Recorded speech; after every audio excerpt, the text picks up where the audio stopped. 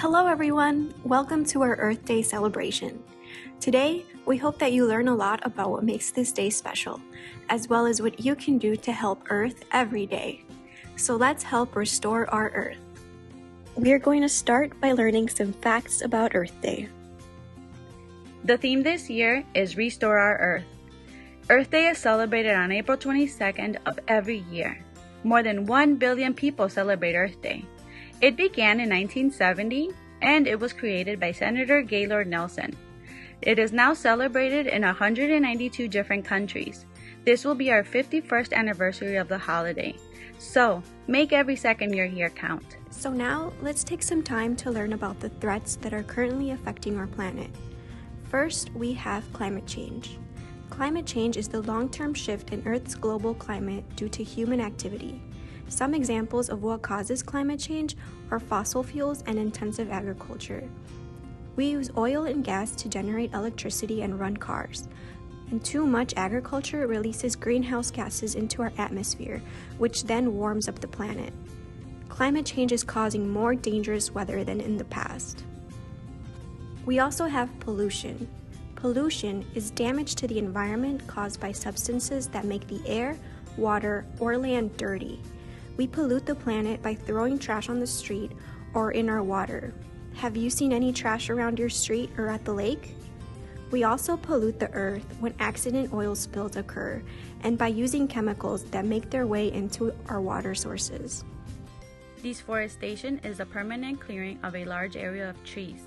Forests act as carbon sinks that soak up carbon dioxide. This helps control climate change.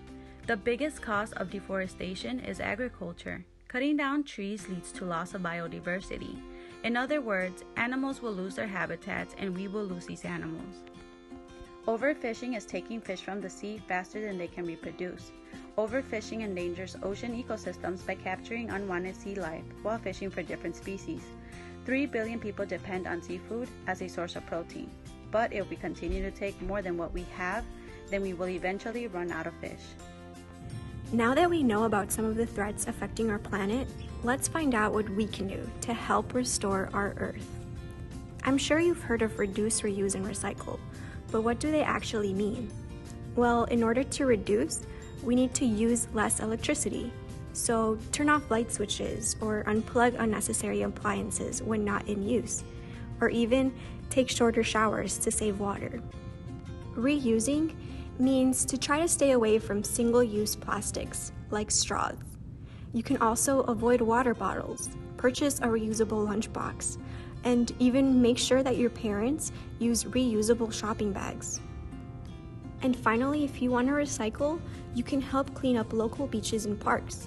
You can also set up a recycling bin with cardboard, paper, metal, or hard plastic in your own home. Make sure you do your part.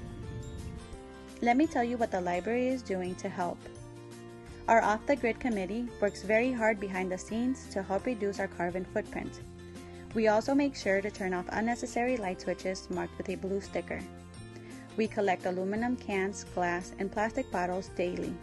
These items are then collected by a local recycling company and turned into new products. Semi annually, we deliver a trailer full of metal, aluminum, and brass parts to a recycling center where they are broken down into raw materials. To reduce our energy use, we've installed motion sensor light switches and faucets. OTG has raised over $10,000 in recycling efforts. What are you going to do to help? Make your move today. We only have one home. If you want more information on Earth Day or you want to do some research on how to get involved, make sure to check out these books. They will be linked down below in our comments. The information for these slides came from the books in the previous slide and the following websites. Make sure to check them out. Have a happy Earth Day, guys. Thank you so much for watching.